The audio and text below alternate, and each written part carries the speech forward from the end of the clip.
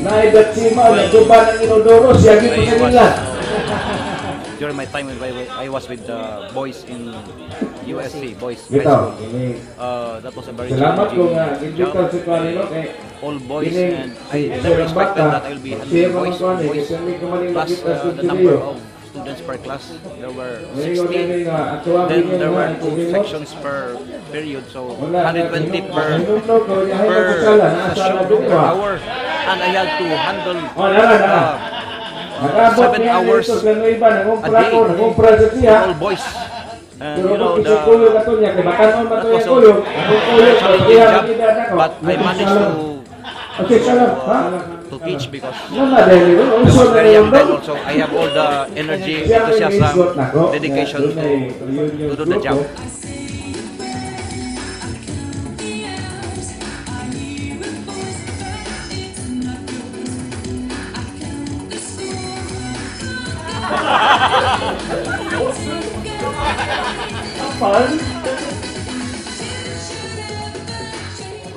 First, of all, uh, I want to thank the guys of uh, USC Batch 86 for really inviting me and welcoming me with open arms.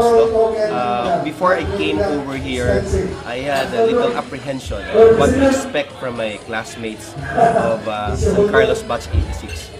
But when when I arrived, I felt the warmth, the camaraderie, and the friendship was still there after, in fact, 27 years to be exact.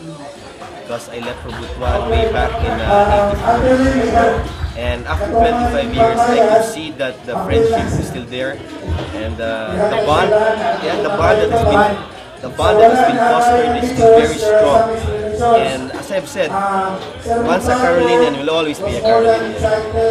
Whether you have graduated uh, high school, whether you haven't finished high school in San Carlos, for as long as you have, you've been molded the Carolinian way, the ideals remain. And uh, those ideas will always guide you in life. Now, I could see that a lot of our classmates are very successful in business, in the field of uh, law and medicine, and I'm really proud of them. That uh, we have uh, an established network of professionals and businessmen here in Cebu, not only in Cebu, but all over the Philippines. I'm based in Cagayan de Oro, so if you need anything in Cagayan, especially uh, dental services or whatever, you can always come to my clinic. And uh, I'm so glad that uh, uh, we're able to connect. We're able to connect uh, because of technology, and uh, uh, this is a good start because 25th uh, alumni homecoming, otherwise known as the Silver uh, Jubilee, is the best time to come home. You know why? Because we have so much pep and energy that compared to the 50, 50th or the golden anniversary, which we all look forward to, it's only your tongue that's active by that time. But now we can still party, we can still play around, and we can still have fun together. Pre, hiyak niyo pa kayo, pre. Pinubutol na, pre. Actually, pabaylo ko ni. Pabaylo ko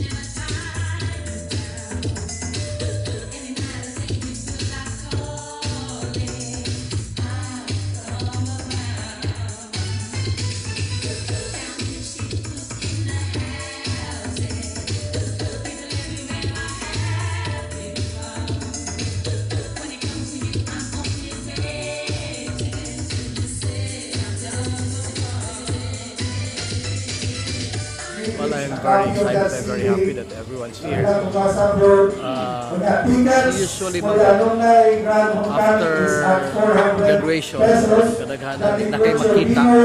So, mao get to sa akong uh, I'm very happy about about is that i-organize ito atong basketball uh, alumni basketball. Kaya through that, every now and then, ang mga classmates magkakita yun kami. So nakita na ko not only in our batch but also other batches nagsige na sa tapok-tapok, nagsige na sa reunion, mas nagkadaghan karon. So I'm very happy not only for our batch but also for the other batches of Isagaras. My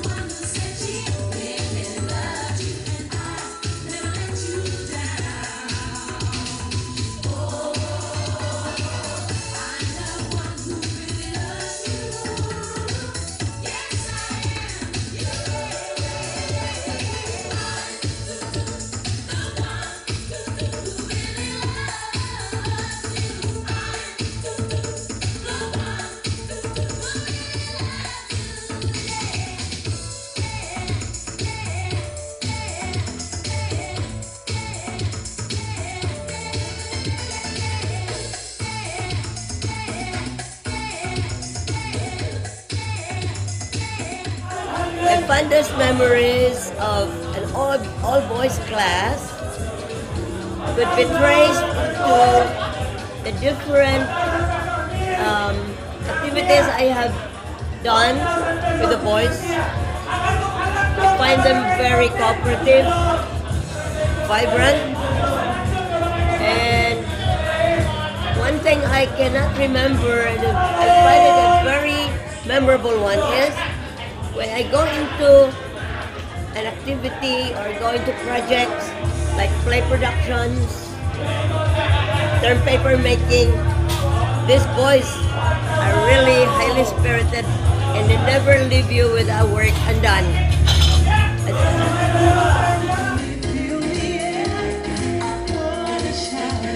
Batch 86 is awesome.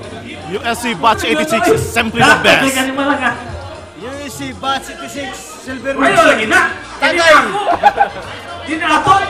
USC Batch 86, tanawa lang.